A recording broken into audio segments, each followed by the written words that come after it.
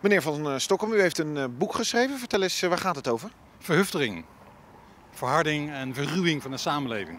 Wij worden daar ook in genoemd. We hebben het weer eens gedaan, hè?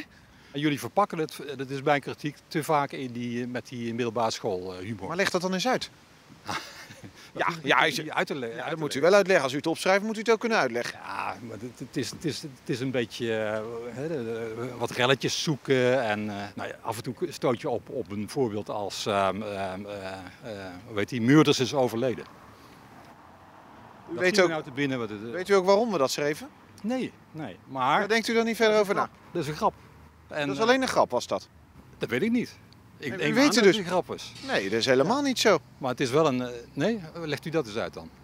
Meneer Meurders had gezegd dat 90 of zo, een, een bepaald percentage, hoog percentage op internet Ja. onbetrouwbaar is. Ja. Waarbij wij eh, natuurlijk wel met de knipoog eh, de, de test deden. Hoe betrouwbaar is het? Het ANP nam het over dat eh, Felix Meurders dood was.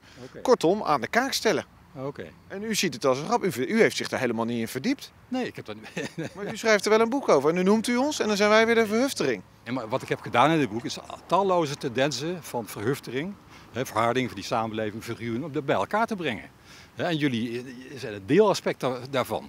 Dus Ja, maar dat zegt u zonder eigenlijk te weten waar wij in godsnaam mee bezig zijn. Ik weet niet, ik, ik, ik, ik heb, ik heb uw, eh, uw eh, eh, site en, en uw omroep nooit goed be- bestudeerd.